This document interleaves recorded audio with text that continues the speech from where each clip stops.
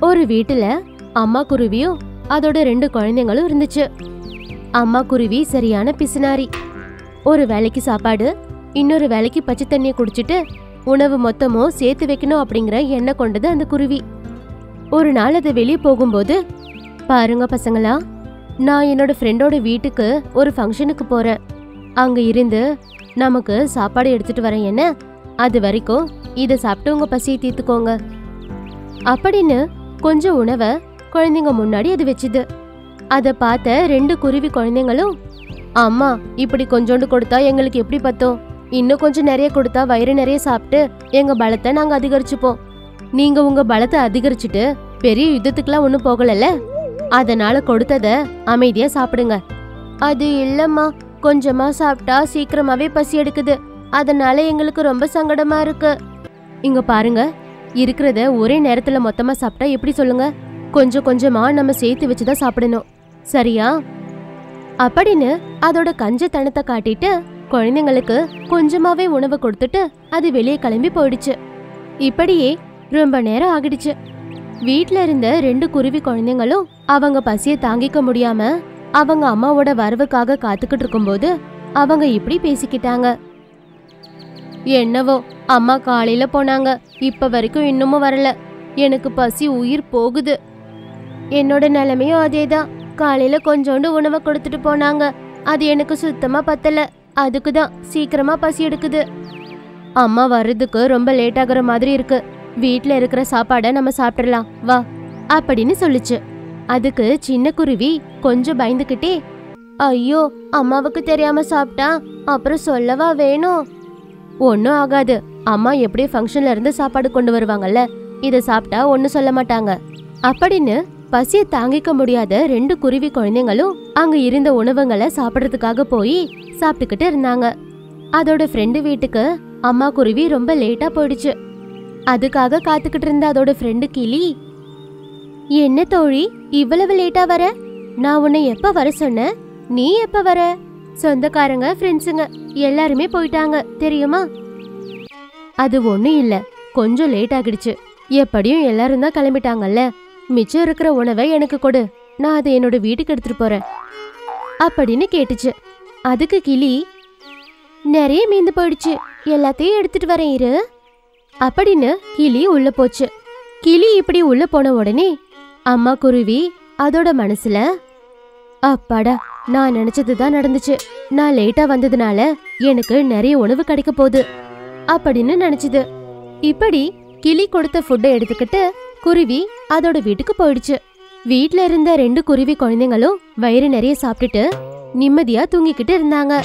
அம்மா குருவி உணவை எடுத்து வைக்கும்போது ஐயோ இங்க இருந்த மொத்த உணவுங்களும் என்னாச்சு? ஏ பசங்களா எழுந்து சீக்கிரம் இங்க வாங்க. அப்படின்னு பயங்கரமா சத்தம் போட்டுச்சு. அந்த சத்தம் கேட்டு பயந்து போய் தூக்கத்துல இருந்து எழுந்த குழந்தை குருவிங்க ஓடி வந்து அம்மா கிட்ட நின்னாங்க. அப்போ அம்மா குருவி கோவமா? வீட்ல இருந்த உணவெல்லாம் என்னாச்சு?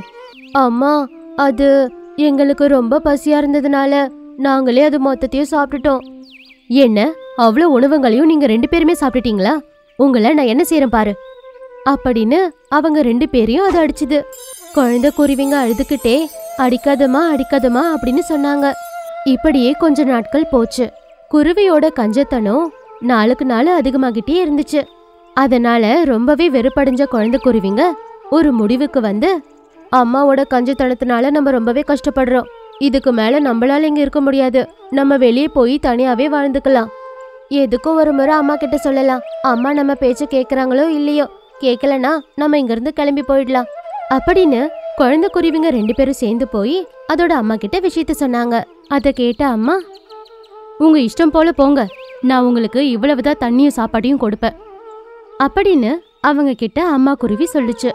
அதை கேட்ட குருவிங்க எதை பத்தியுமே யோசிக்காம அந்த வீட்டை விட்டு வெளியே போயிடுச்சுங்க. நாட்களும் கடந்து போச்சு. கொஞ்சம் கொஞ்சமா அம்மா குருவிக்கு பசங்க இல்லாம அந்த வீட்டில் அது அனாதை ஆகிடுச்சோ அப்படிங்கிற கஷ்டம் அதுக்கு வந்துச்சு. நான் கஞ்சத்தனத்தோடு இருந்தது தான் என்னோட பசங்களுக்கு பிடிக்கல. அவங்க வெளியே போய் எப்படி வாழ்றாங்களோ என்னவோ. இருக்கிற உணவையாவது எடுத்துட்டு போய் கொடுத்தா கொஞ்சம் நல்லா இருக்கும் அப்படின்னு நினச்சிக்கிட்டு உணவுங்களை கொண்டு போறதுக்காக அது போச்சு. ஆனா அங்க போய் பார்த்தப்போ உணவு மொத்தமும் வீணாகி அழுகி போன வாசனை வந்துச்சு. அதை பார்த்த அம்மா குருவி ரொம்பவே கஷ்டப்பட்டுக்கிட்டு ஐயோ நான் ரொம்ப பெரிய தப்பு செஞ்சுட்டேன்.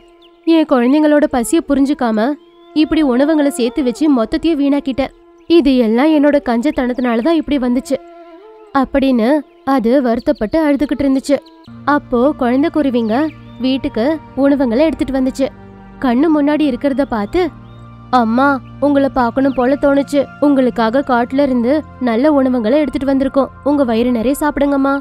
இந்த வீணா போன உணவுங்களை பத்தி யோசிச்சு கஷ்டப்படாதீங்கம்மா.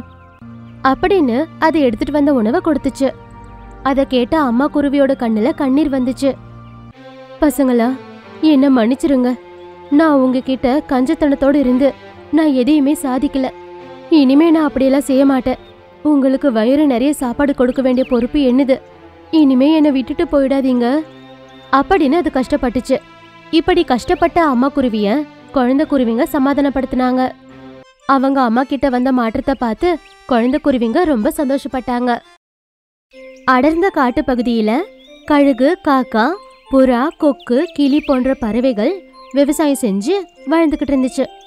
அதே காட்டு பகுதியில ஒரு ஏழை குருவி மரத்துக்கு மேல கூடு கட்டி வாழ்ந்துகிட்டு இருந்துச்சு. ஒரு நாள் அந்த ஏழை குருவியோட குழந்தைங்க அவங்க அம்மா குருவி கிட்ட இப்படி சொன்னாங்க. அம்மா எனக்கு ரொம்ப பசியா இருக்கு. பசியா இருக்காடா தங்கமே இப்பவே நான் உங்களுக்காக வெளியே போய் உணவு கொண்டு வரேன்னு. அம்மா நிறைய உணவு கொண்டு வாங்க சரியா? சரிடா தங்கம் நான் நிறைய உணவுங்களை கொண்டு வரேன். இப்படி தாய்க்குருவி உணவுக்காக வானத்துல பறந்துக்கிட்டு அந்த காடு முழுக்க சுத்தி வந்துச்சு. இப்படியே தாய்க்குருவி ரொம்ப நேரமா உணவு தேடிக்கிட்டே இருந்துச்சு. அப்போ அந்த தாய்க்குருவிக்கு அந்த காட்டுல ஒரு இடத்துல கூட பழமரமோ இல்ல புழுக்களோ தென்படல. அதனால தாய்க்குருவி சோர்ந்து போய் ஒரு மரக்கிளையில உக்காந்துக்கிட்டு ஓய்வெடுத்துக்கிட்டு தனக்கு தானே இப்படி சொல்லுச்சு. ச இன்னைக்கு நான் உணவுக்காக வீட்டை விட்டு வெளியே வந்த நேரமே சரியில்லை. இவ்வளோ நேரம் ஆகி கூட என் கண்ணுக்கு ஒரு பழமரம் கூட தெரியல. ஒரு சின்ன புழுவை கூட காணும். அப்படின்னு தாய்க்குருவி அதோட மனசுல நினைச்சுக்கிட்டு கஷ்டப்பட்டுச்சு. அப்போ அந்த தாய்க்குருவி கொஞ்சம் தூரத்துல இருக்கிற ஒரு மொக்காச்சோள தோட்டத்தை பார்த்துச்சு. உடனே தாய்க்குருவி வேக வேகமா பறந்து அந்த தோட்டத்துக்கிட்ட போய் அங்க இருந்த ஒரு மரத்து மேல உக்காந்துக்கிட்டு அந்த மொக்காச்சோள தோட்டத்தை கிட்ட இருந்து பார்த்து இப்படி சொல்லுச்சு. ஆஹா மொக்காச்சோள கதிர் எவ்வளவு நல்லா இருக்கு. இப்பவே ஒரு மொக்கச்சோளத்தை கொண்டு போய் என் குழந்தைங்களுக்கு கொடுக்கணும். எதுக்குன்னா இந்த மொக்கச்சோள உணவு வளர குழந்தைங்களுக்கு நல்ல சக்திங்களை கொடுக்கும்? அது மட்டும் இல்ல தினமும் என்னோட குழந்தைங்களுக்கு பழத்தையும் புழுக்களையும் கொடுத்து கொடுத்து ரொட்டீன் ஆகிடுச்சு அதுக்கு தான் இந்த முறை ஒரு மொக்கச்சோள கதிரை என்னோட கூட்டுக்கு எடுத்துட்டு போகணும். அப்படின்னு நினைச்சுக்கிட்டு தாய்க்குருவி அந்த மொக்கச்சோள தோட்டத்துக்குள்ள போக பார்த்தப்போ அந்த மொக்கச்சோள தோட்டத்துக்கு காவல் காத்துக்கிட்டு நின்னுக்கிட்டு இருந்த கழுகு அதை பார்த்துச்சு. அப்போ தாய்க்குருவி இப்படி நினைச்சது. இது அந்த கோவமா ஃபேஸ் வச்சிருக்கிற மகி கழுகு காக்குற மொக்காச்சோள தோட்டம். நல்ல வேலை நான் மட்டும் இந்த மொக்காச்சோள தோட்டத்துக்குள்ள போய் மொக்காச்சோளங்களை திருடி கழுகு கிட்ட மாட்டியிருந்தா இது என்ன என்னென்னலாம் கேள்வி கேட்டிருக்குமோ. இந்த கழுகு தோட்டத்தை விட்டுட்டு பக்கத்துல இருக்கிற இன்னொரு மொக்காச்சோள தோட்டத்துக்கு போய் திருடுறது பெட்டர் அப்படின்னு நினைச்சுக்கிட்டு பக்கத்து தோட்டத்துக்கு திருட போய் அங்க காவல் காத்துக்கிட்டு இருந்த கொக்க பார்த்து மறுபடியும் நின்னு போய் தனக்கு தானே இப்படி சொல்லுச்சு. ஐயோ கடவுளே இது அந்த நீல மூக்கு கொக்கு காவல் காக்குற மொக்கச்சோள தோட்டம் போல இருக்கு. நல்ல வேலை நான் மட்டும் அந்த தோட்டத்துக்குள்ள போய் மொக்க சோளங்களை திருடி அந்த கொக்கு கிட்ட மாட்டிக்கிட்டா என்ன துணி துவைக்கிற மாதிரி துவைச்சு போட்டிருக்கோம்.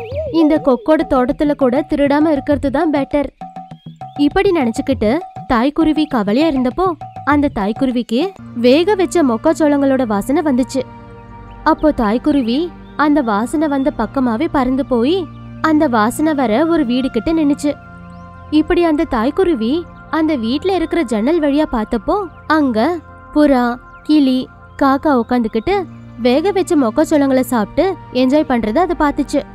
இப்படி என்ஜாய் பண்றவங்கள பார்த்து தாய்க்குருவி தனக்கு தானே ஓஹோ அப்படின்னா இந்த மொக்கச்சோள தோட்டம் எல்லாமே இந்த கிளி புறா காக்காவோடதா? இப்போ இந்த மூணு பேரும் அந்த கொக்கையும் கழுகையும் காவலுக்கு வச்சுட்டு மொக்கச்சோளங்களை விளைவிச்சுக்கிட்டு இருக்காங்களா? அப்படின்னு தனக்கு தானே பேசிக்கிட்டு இருந்தப்போ தாய்க்குருவி அங்க ஒரு மூணு புழுக்களை பார்த்துச்சு. அப்போ தாய்க்குருவி உடனே அதை எடுத்துக்கிட்டு அதோட கூடுக்கு அது திரும்ப போயிடுச்சு. அப்போ அந்த குருவியோட குழந்தைங்க அந்த தாய்க்குருவி எடுத்துட்டு வந்த புழுக்களை பார்த்து ரொம்பவே சந்தோஷப்பட்டாங்க. முதல்ல தாய்க்குருவி அதோட ரெண்டு குழந்தைங்களுக்கும் ரெண்டு புழுக்களை சாப்பிட கொடுத்துச்சு. அப்ப அந்த குருவியோட குழந்தைங்க அந்த புழுக்களை சாப்பிட்டுட்டு அம்மா இன்னும் புழுக்கள் இல்லையாம்மா? எதுக்குன்னா எங்களுக்கு வயிறே நிறையலம்மா. அப்படின்னு குழந்தை குருவிங்க சொன்னதோ தாய்க்குருவி அதுக்குன்னு வச்சிருந்த ஒரு புழுவை கூட ரெண்டு துண்டா வெட்டி அதை அதோட குழந்தைங்களுக்கு கொடுத்துட்டு அது வெறும் தண்ணியை குடிச்சிட்டு தூங்க போயிடுச்சு. அன்னைக்கு தாய்க்குருவி முடிவு பண்ணுச்சு. இனிமே அதுவும் அதோட குழந்தைங்களும் இப்படி பசியால கஷ்டப்படக்கூடாது அப்படின்னு. அதுக்காக அது எப்படியாவது அந்த கழுகு கொக்கு காவல் காத்துக்கிட்டு இருக்க மொக்கச்சோள தோட்டத்துல கூட திருடுறதுக்கு தயாராகிடுச்சு. மறுநாள் காலையில தாய்க்குருவி செத்து போன மீன்களை அந்த மொக்கச்சோள தோட்டத்துக்கு வெளியே போட்டு வச்சுது. அப்போ அந்த கொக்கு அந்த மீன் வாசனைக்கு காவல் காக்கறத விட்டுட்டு தோட்டத்துக்கு வெளியே வந்து அந்த மீன்களை சாப்பிட்டுக்கிட்டு இருந்துச்சு. அதுக்குள்ள தாய்க்குருவி தோட்டத்துக்குள்ள போய் மொக்கச்சோளங்களை திருடிக்கிட்டு அங்கிருந்து போயிடுச்சு. அடுத்த நாள் காலையில செத்து போன பாம்பை எடுத்துட்டு வந்து தோட்டத்துக்கு வெளியே போட்டுச்சு. அப்போ கழுகு கூட அந்த வாசனைக்கு காவல் காக்குறத விட்டுட்டு தோட்டத்துக்கு வெளியே வந்து பாம்பை சாப்பிட்டுக்கிட்டு இருந்துச்சு. அதுக்குள்ள தாய்க்குருவி தோட்டத்துக்குள்ள போய் மொக்காச்சோளங்களை திருடிக்கிட்டு வீட்டுக்கு போய் குழந்தைங்களுக்கு உணவு கொடுத்தது. இப்படி தினமும் தோட்டத்துல திருடு போறதுனால ஒரு நாள் புறா காக்கா கிளி இவங்க கூட சேர்ந்து தலைமறைவா நின்று காவல் காத்தாங்க. அப்போ திருடுறதுக்காக வந்த தாய்க்குருவி எப்பவும் போல கழுகுக்கும் கொக்குவுக்கும் உணவை போட்டுட்டு மொக்காச்சோள கதிரங்களை திருடுறதுக்காக தோட்டத்துக்குள்ள அது போச்சு. அப்போ அந்த தோட்டத்திலேயே இருந்து அசையாம காவல் காத்துக்கிட்டு இருந்த புறா கிளி காக்கா அந்த தாய்க்குருவிய ஒரே வழியா புடிச்சு ஒரு மரத்துல கட்டி போட்டு அடிச்சுக்கிட்டே இப்படி கேட்டாங்க. ஏய் திருட்டு குருவி எதுக்கு எங்க தோட்டத்துக்குள்ள வந்து தினமும் இப்படி திருடுற? சொல்லு. அப்படின்னு பறவைங்க எல்லாரும் கேட்டதோ தாய்க்குருவி அதோட நிலைமையை எடுத்து சொல்லி வீட்ல இருக்கிற அதோட குழந்தைங்க பசியால தவிக்கிறதையும் சொல்லி அது கண்ணீர் வடிச்சுது. அதனால காக்கா புறா கிளி அந்த தாய்க்குருவியோட கஷ்டத்தை புரிஞ்சுக்கிட்டு அண்ணில இருந்து அந்த குருவிக்கு கூட புதுசா ஒரு பண்ணைய கொடுத்து அதுல மொக்கச்சோளங்களை எப்படி விளைவிக்கிறதுன்னு சொல்லி கொடுத்தாங்க. அப்போ அந்த தாய்க்குருவி கூட விவசாயம் செஞ்சுக்கிட்டு விளைஞ்ச மொக்கச்சோளங்களால அதோட ரெண்டு குழந்தைங்களோட வயிற்ற நிரப்புச்சு.